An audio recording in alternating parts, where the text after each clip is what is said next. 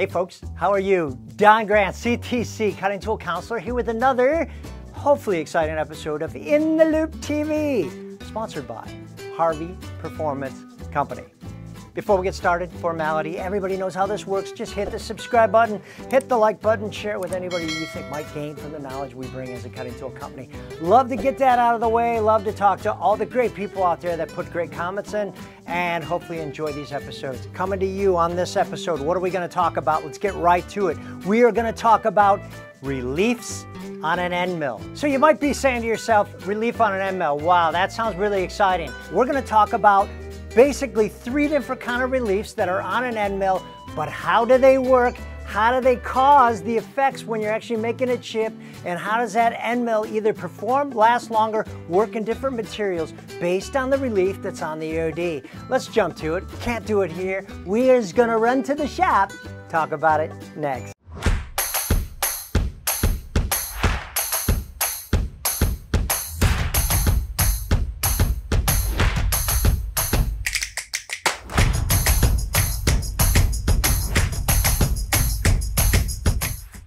So, folks, thanks for coming back. Thanks for joining me on another episode. Listen, we are going to have some fun.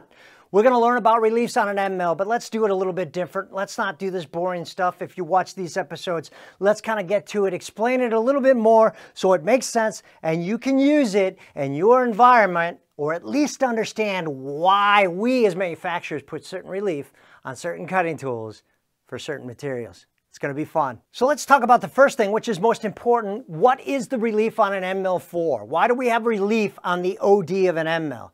Well, the relief is there so it doesn't rub on the OD, right? We got to grind away on the relief because an end mill cuts on the side, which is kind of funny because it's called an end mill. You would think it cut on the end, but the end is the side. It cuts on this, the side. So we need relief so when it's cutting and forming a chip, those chips and that material doesn't rub with the tool. So that's what relief is. So folks, we're talking reliefs on an end mill, reliefs on an end mill. How can that be exciting? Well, it's exciting to me. I'm a cutting tool geek, right? Hopefully, or the cutting tool counselor. Hopefully you understand a little bit more. We're gonna talk about reliefs on an end mill, and there's really three different types of reliefs we put on the OD of an end mill. Understand, end mills cut on the OD. They don't cut on the bottom. They can cut on the bottom, but an end mill actually cuts on the side. So that relief that's on the OD of the side of that end mill really means a lot. And the way we actually engineer and design that and put that on there can help you use it in your shop a little bit better. Let's explain. So really there's three different kind of reliefs that you can put on an end mill. I'm going to throw in four, but there's really three. Let's just run through them quickly and then I'm going to explain each of them individually. The first one is a flat grind. Standard flat grind. I'm not going to tell you what that is. We're going to dive into it. Second one is eccentric. Eccentric relief. And I'm not talking like eccentric, like nice clothes and a nice car. I'm talking eccentric relief on an end mill. Eccentric has its benefits. The third is something I like to call concentric. Remember I said there was actually four? One is called concentric, which actually means there's concentric and eccentric mashed up in it. You're going to want to stick around and find out what that is. And the fourth one, I did three, but the fourth one is actually a con flat. So we have con flat, con eccentric, eccentric, and flat grind relief that we can put on end mills. Each one comes with its benefits. Each one comes with its purposes. Spoiler alert, it's a round material, and each one you can use in your shop if you understand it, or at least pick out the right end mill. So let's just talk about the first one, flat grind flat grind. It's probably the most common old school uh, grind that you're going to see, especially on high-speed steel. Now, remember, we're a carbide high-performance company, so a lot of the stuff I try to give knowledge on is more toward the carbide thing. But a flat grind is kind of old school, where all you're really doing is off the cutting edge, everything cuts on the cutting edge, okay?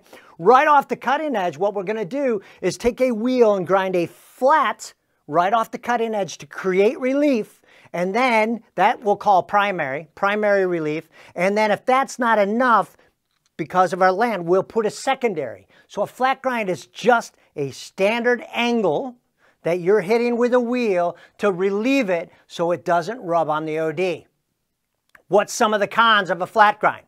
Well, some of the cons of a flat grind, when you do that and you put a flat grind on a tool, it doesn't give a lot of meat behind the cutting edge. The cutting edge is doing all the work, right? So when we relieve behind it, we have to be conscious of how we're going to relieve behind that cutting edge in order to create the strongest edge we can. So when you run a flat grind, it's basically a cup wheel. It runs right down at an angle. It's measured in angles. So it'll be like maybe seven, eight degrees on a primary and then 15 degrees on a secondary. So it's the easiest way. A lot of regrind companies will regrind with a flat grind and we actually did it old school back in the day. It was the only way we could actually do it.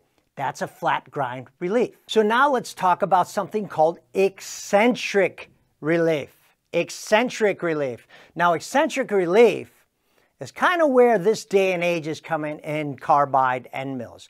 Eccentric relief, if you look at an end mill, you're going to see it almost looks like it's not ground on the OD. I've even had customers come up and say, hey, this tool is not ground. Look at this. You haven't cut it.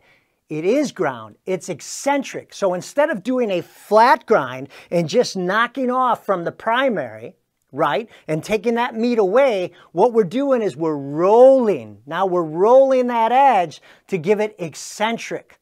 So it doesn't drop as far as it does if it's flat grind. So what does it do if you put eccentric relief? It makes the cutting edge stronger. So now we have more meat behind the cutting edge. So when you're getting into more difficult materials to cut, eccentric relief is what you want on your end mill, which means we're rolling away from the cutting edge to a nice eccentric and gradually dropping that versus a flat grind, it makes the cutting edge a lot stronger. Now that doesn't get measured in an angle. You can't measure it in an angle. So we actually measure that with an indicator. We measure it with the drop. So now that's measured in thousandths versus angle. That's eccentric relief and it's built for stronger tools if we just step back to flat grind a little bit, usually a tool that's cutting aluminum or softer materials can get away with a flat grind. When you're cutting stronger materials or heat-treated materials, that eccentric relief is what you want on that end mill. So now let's talk about the third one, which I called con-eccentric, or, like I said, it was three or four, con-flat which basically means what we do is we run a cylindrical margin. So we don't relieve anything right on the end of the tool. Very small, it's micro, but we don't relieve anything and then we run eccentric behind that margin. So right off the cutting edge, there is a cylindrical margin and then we create all that relief. Now, when I said it's con-eccentric or con-flat, the relief behind that cylindrical margin can be a flat grind too as well. So it can have that primary and secondary on it. It also can have that eccentric. Now, where do you use something that has a concentric or a concentric or a cylindrical margin on the OD and then a back off?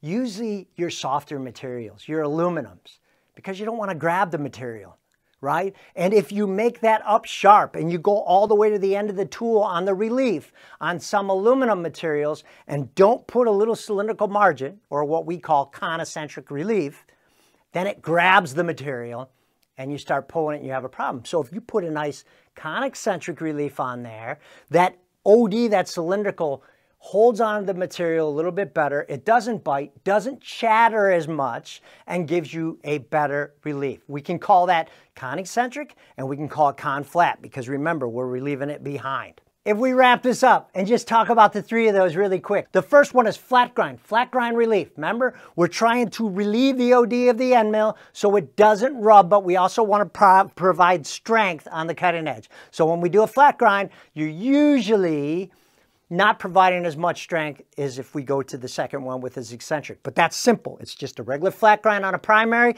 and a secondary relief. You can notice it because it's very notable when you look at that end mill. The second one, eccentric relief. Eccentric is going to be your strongest relief that you can provide because it's going to give you drop behind the cutting edge, but it's also going to give you strength on that cutting edge because when that cutting edge is forming the chip, and you don't and you got a big drop behind it, it makes the cutting edge a lot weaker. So when we roll that and create eccentric relief on there, you have a stronger cutting edge, you have a stronger tool, and you can go into your more super alloy materials.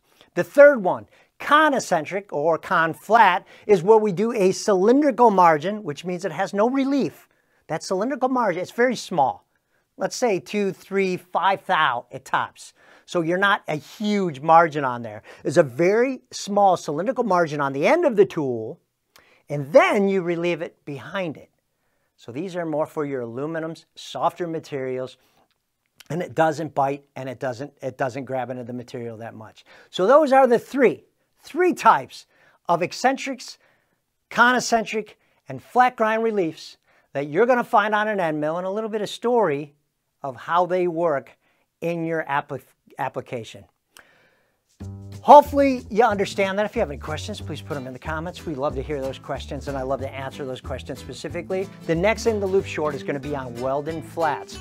Weldon flats, wow, how important is a Weldon flat? Side lock holder, that's going to be interesting, I'm telling you come back for the Weldon flat one because we got some interesting tips on Weldon flats, on how to use them, how we manufacture and how they were made, and a little bit of history on Weldon flats to help you understand whether or not you want a Weldon flat in your application.